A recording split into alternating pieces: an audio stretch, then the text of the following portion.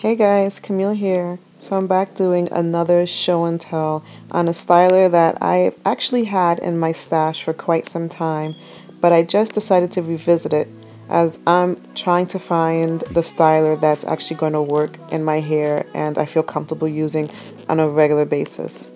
So if you guys want to see what styler it is that I'm talking about, keep watching.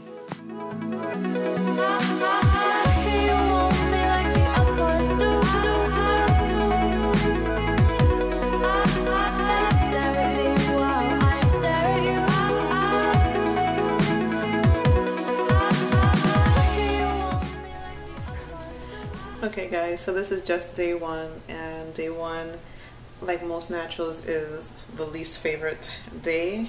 Um, but I will say this is one of the most defined wash and goes I've ever had with absolutely no crunch.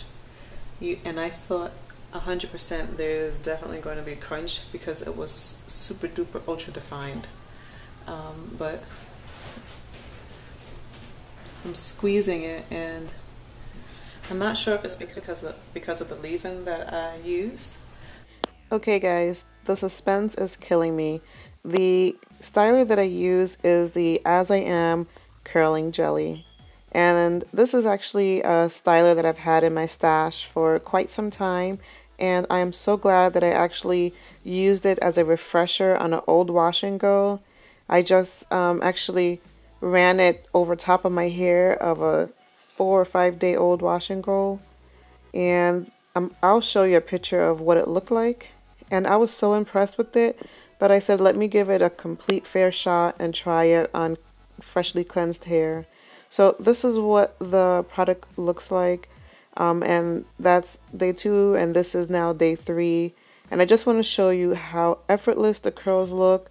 They do not look forced. They don't look gelled down. They just look like natural, healthy curls, in my opinion.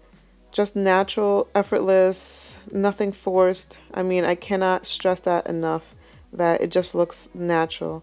Um, this is the consistency of it. It's not ultra thick, um, no stickiness, no flakes. I used a Tresemme conditioner and water. So that was my refreshers and that was also my leave-in when I co-washed.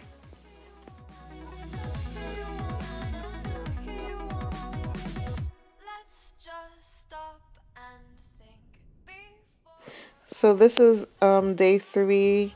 And again, you guys can see that my hair is still very defined. It does get bigger as the days go on. I do like that. But it maintains its, its natural curls. It remains soft. I had no flaking. I really don't have anything bad to say about this product. I am so happy that I really tried it, revisited it, and this will be a staple product and I can't say I'm done trying, but for now, this will be my go-to styler.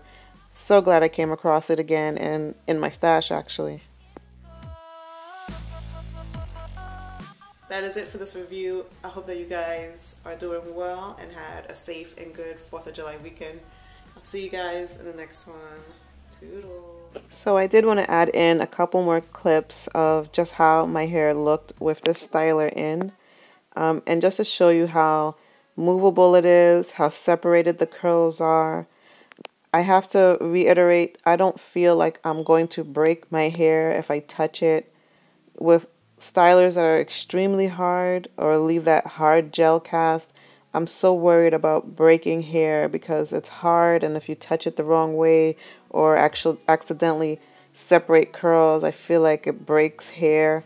This with this styler, I felt none of that, and I'm not affiliated with this um, company. I purchased everything on my own, so this is my true and honest opinion.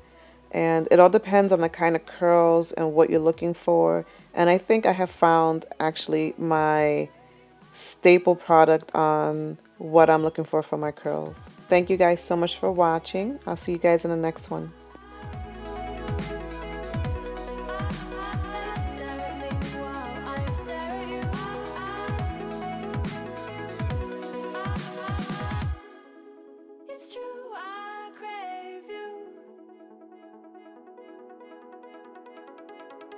It's true. I